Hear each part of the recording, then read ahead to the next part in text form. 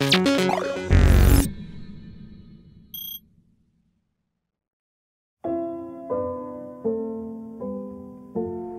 work with the body, bodies, I should say, they're always plural, and with different logics.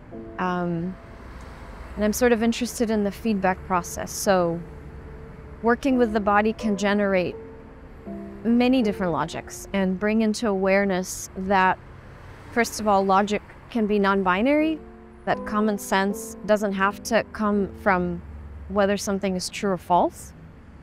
Um, that logics can be dynamic, they can evolve, they can be emergent. I work with improvisation a lot, and I, I work a lot uh, with site specific material where you sort of get to a place and you start to inhabit it. And I'm interested in the flow of that, both the process and what it generates, because it's always something new. and then on the other side, I, I work with history and philosophy of logic too. And um, different frameworks that have existed and that do exist kind of outside of the Western Eurocentric notions of logic. Um, I'm most familiar with logics that existed in the early 20th century in the Russian speaking world. In the same vein, there are a lot of uh, indigenous logics and indigenous notions of science that I've encountered and became familiar with, though I'm not an expert, that are not inscribed in symbols but that are enacted and that do constitute a way of common sense, of making sense to people.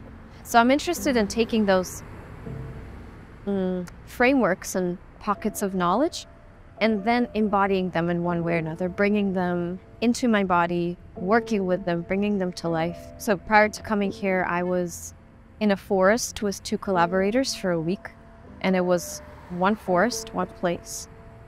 And allowing our bodies to be in that place without necessarily a clear product in mind, but learning to inhabit and cohabit and be at home, um, nest, almost net in that place.